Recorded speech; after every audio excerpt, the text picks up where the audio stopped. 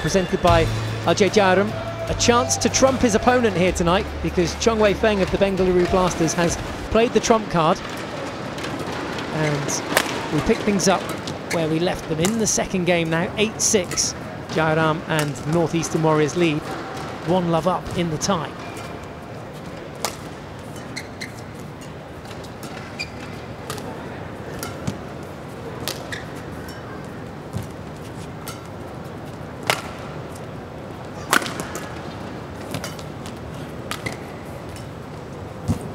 Great angles being worked there by Jayaram. Nothing you can do about that smash finish though from Chong Wei Feng.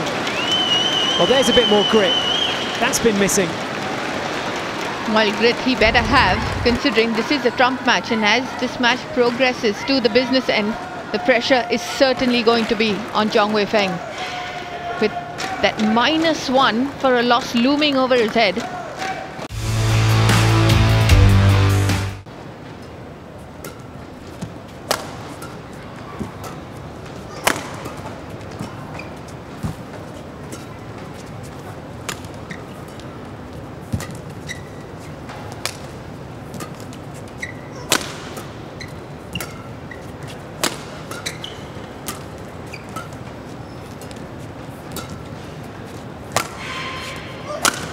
Great shot.